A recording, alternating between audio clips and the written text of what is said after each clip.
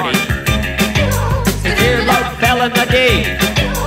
Someone reached in and grabbed it.